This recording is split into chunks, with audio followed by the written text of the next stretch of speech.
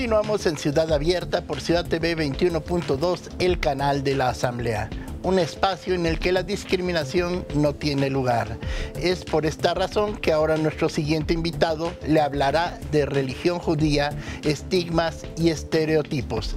Él es José Ignacio Cuevas de la Garza, conferenciante en temas sobre Estado laico, libertad, diversidad y discriminación. Cuenta con una licenciatura en comunicación, es catedrático del área de reflexión de la Universidad Iberoamericana y del Colegio de Derechos Humanos y Gestión de Paz de la Universidad del Claustro de Sor Juana. Él ya se encuentra con Jacqueline Loas Tapia del otro lado del estudio. Muchísimas gracias, doctor Volaski, como siempre, por la presentación. José Ignacio, bienvenido. Muchas gracias. Además nos da este mucho gusto eh, que alguien de CONAPRED hoy nos esté, nos esté acompañando. ¿Qué es la religión judía? Sí, bueno, se puede empezar por ahí. Eh, la religión judía es importantísima en la historia de la humanidad porque es la primera religión que establece claramente el monoteísmo, o sea, la creencia en un solo Dios. Y esa finalmente pues es una visión que se ha ido aceptando cada vez más y del judaísmo surgen las dos grandes religiones más extendidas en el mundo, que son el cristianismo y el islam. Entonces todas están de algún modo emparejadas en su, en su origen, pero el judaísmo es la que marca esa línea de la creencia en un solo Dios. ¿El judaísmo es la primera religión importante en el mundo? Pues había muchas religiones, se pueden entender básicamente dos grandes focos. Uno es en la India, de donde surge el hinduismo, y toda una serie de religiones muy diferentes, el budismo, los sikhs, el jainismo, etcétera, que tienen una visión diferente de las divinidades. Pero en el lado del Medio Oriente, y que es lo que influye más en Occidente, el, judaísmo sí es la, religión antecedente de todas. ¿no? Y eso la coloca en, eh, en ser una religión muy importante. Sí, es muy importante Actualmente, no numéricamente, si quisiéramos medir eh, qué tan importante es una religión por el número de sus feligreses, pues el judaísmo tal vez no ocuparía un lugar ahí, porque pues, habrá unos 15 millones de judíos en el mundo contra 1.500 millones de, cristianos y, los musulmanes también es una religión muy extendida, 1.100 millones, pero ella es la, la antecesora y además es la que más tiempo tiene de vigencia. ¿no? ¿Por qué entonces eh, surge este eh, estigma, este odio, que es el antisemitismo, a las personas que practican la religión judía? Pues desde el punto de vista religioso, digamos que el problema fue su relación con el cristianismo al inicio. Es decir, al ser Jesús un judío que inicia una nueva religión, que es el cristianismo, y haber sido rechazado e incluso asesinado, aunque es curioso porque realmente lo que los matan son los romanos. Claro, no los No son los judíos, pero bueno, ciertamente los judíos lo rechazan las autoridades y lo querían matar, pero lo matan los, los romanos, pero se le ha adjudicado a los judíos eh, el estigma de ser deicidas, es decir, que mataron a Dios. Entonces, durante toda la gran evolución del cristianismo, como se explicó, eh, de ahí surge el antisemitismo, fue un rechazo a los judíos inicialmente por cuestiones religiosas, porque no fueron los que aceptaron a Jesús como el Mesías y como pues la manifestación más plena de Dios. Entonces ahí empezó ese rechazo desde el punto de vista religioso. Y, además eh, fundado en un prejuicio como buen prejuicio absurdo y, insostenible porque fueron eh, los romanos quienes eh, ejercieron y mataron en tal caso a Jesús. ¿Qué más eh, hay eh, en esta idea contra el perjuicio a las personas judías? Sí, sí, bueno, hay un, hay un rechazo a los judíos, se les fue cada vez adjudicando más algunas causas.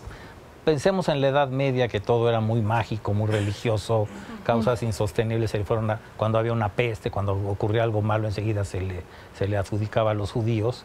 Y sin embargo, pues digo, es, un error desde el punto de vista religioso absurdo, eh, que incluso quedó escrito en algunas eh, liturgias de la Iglesia Católica en particular, que se hablaba de los judíos como los, los, asesinos, los que rechazan a Dios. Y pese a que hubo épocas eh, de fructífera convivencia, particularmente en la España mozárabe, cuando la dominaron los musulmanes, hubo muy buena convivencia de las tres grandes religiones. Y pero eh, todo esto afortunadamente después del holocausto sí vino una reacción de los excesos a lo que se llegó. Y creo que ahí sí hay que reconocer que en particular la actuación del Papa Juan Pablo II fue muy importante. Él tenía muchos amigos judíos y judías, entendió lo que fue el holocausto y acabó reconociendo que los judíos son los hermanos mayores en la fe de los cristianos. Entonces eso ya cambia la categoría y las relaciones. Y hay muchos más puntos de convergencia, incluso con el Islam, de que Abraham es, el padre de la fe, es el iniciador de todas estas religiones monoteístas. Eh, y ahí es como, eh, ¿cuál sería em, esta, esta idea de crear mayor conciencia social? Es decir, eh, dónde podríamos las personas quienes nos están mirando el día de hoy, si quisieran saber más sobre el judaísmo, pues precisamente para arrancarse esos prejuicios, esos estigmas, ¿dónde podrían encontrar información o a, dónde podrían ir? Sí, bueno, pues eh, eh, por un lado, como, como se expuso la comunidad judía de México, creo que ha hecho una labor importante en reunir materiales para que se, se entienda. Ahora, para los cristianos en general sería muy fácil porque pues eh, todo el Antiguo Testamento de, que el cristianismo aceptó como palabra de Dios, pues fue escrito por los judíos. Son los libros sagrados, la Torá, la Tanaj del, judaísmo. Entonces ahí, ahí viene, y hay, hay, una relación muy, muy cercana de las, eh, de las prácticas religiosas que el cristianismo hizo, porque están enlazadas totalmente con lo que se hacía con los judíos, ¿no? Ignacio, ¿tú crees que eh, hoy por hoy eh, el antisemitismo siga vinculado a un tema religioso o más a un tema, eh, René nos decía, un tema de Israel, a un tema político? ¿Dónde lo colocarías, en dónde le colocarías la carga mayor a la conducta de antisemitismo? Sí, yo creo que afortunadamente en el campo religioso se ha avanzado bastante. Eh, los encuentros entre líderes religiosos, eh, tanto de iglesias cristianas, no solo la católica, sino otras iglesias, anglicana, la, presbiteriana, bautista, etcétera, con autoridades judías, eh, con rabinos y todo, han mostrado que, que el diálogo religioso es posible y ya no ya no hay una percepción en el mundo religioso de, un rechazo a, este, a esta comunidad por su religión. Incluso en México nos han manifestado en los contactos que yo he tenido con la comunidad judía que ellos se sienten bien en México para practicar su religión, no tienen ningún conflicto, sus sinagogas son respetadas, su Shabbat se, guarda, en fin, y, y, como que México ya sabe que hay esto. El problema entonces, el antisemitismo ya no está tanto colocado en lo religioso, sino como explicaban en otros aspectos de, prejuicios económicos y ciertamente lo del Estado de Israel, sobre todo cuando allá hay un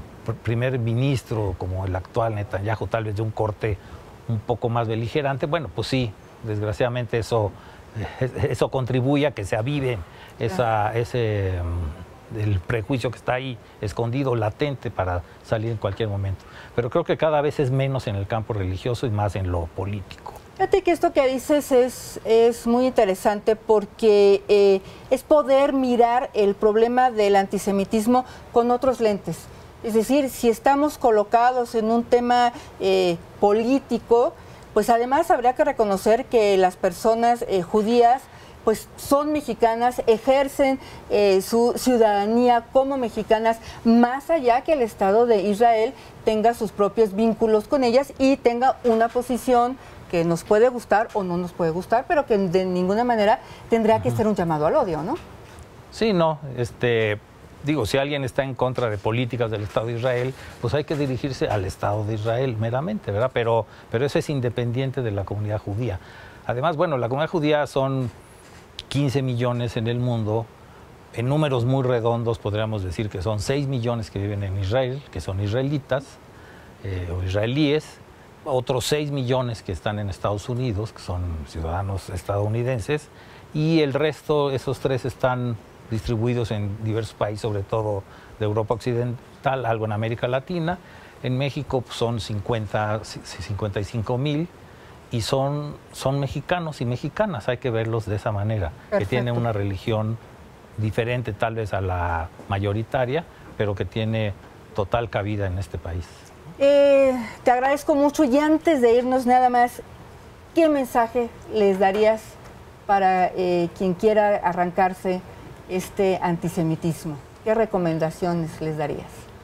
Pues que, bueno, que en nuestro país queremos hacer una sociedad incluyente y que debemos aprender a, respetar a todos y además a conocerlos, ¿no? Entonces, eh, simplemente como decían, en, el conocimiento de la diversidad vemos cómo México se enriquece. No nos afecta en nada nuestra identidad de mexicanos y mexicanas. Creo que la comunidad judía nos enriquece y, y creo que hay que, acercar, hay que acercarnos a ellos y conocerlos y ver ese otro rostro de lo mexicano.